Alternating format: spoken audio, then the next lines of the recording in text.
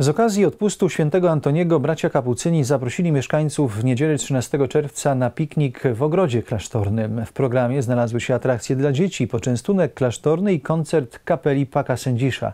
Prowadzona była również sprzedaż książek wydawnictwa Serafin i produktów kapucyńskich. To była wspaniała okazja do integracji i wspólnej zabawy, a przy okazji wsparcia remontu klasztoru. Mieszkańców chętnych na spędzenie niedzielnego popołudnia na pikniku w ogrodzie klasztornym nie brakowało. Z okazji odpustu świętego Antoniego no chcemy przeżywać tą radość nie tylko na mszy świętej, na modlitwie, e, w czasie procesji eucharystycznej, ale właśnie organizując, otwierając ogród, organizując taki piknik z atrakcjami dla dzieci, dla dorosłych. Tego dnia dzieci mogły skorzystać z malowania twarzy, ale nie tylko. W planie znalazło się naprawdę wiele ciekawych propozycji. Kilka jakichś pomysłów tak wypaliło, że tak powiem, i, i, i, a ludzie dopisują, więc, więc rzeczywiście czujemy się tutaj bardzo dobrze i ta atmosfera jest taka no, życzliwa, chociaż jest wiecznie bardzo, ale na szczęście nie ma deszczu.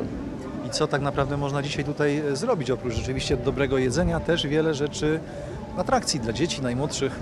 Tak, no dobre jedzenie rzeczywiście jest, bo panie przygotowały ogórki kiszone i, i smalec, swojski chleb ale też atrakcje dla dzieci, jak są te dmuchańce, czy ognisko, czy jazda na, na konikach, czy też jest możliwość spotkania z alpakami.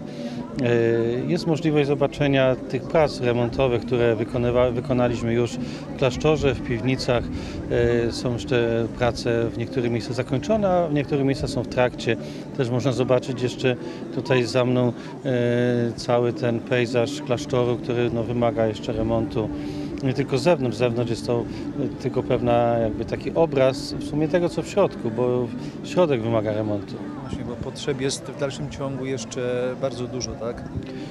Dostajemy, otrzymaliśmy bardzo dużo z Urzędu Miasta w Sędziszowie Małopolskim, otrzymujemy wsparcie i dziękujemy za to panu burmistrzowi i, i, i zarządowi miasta.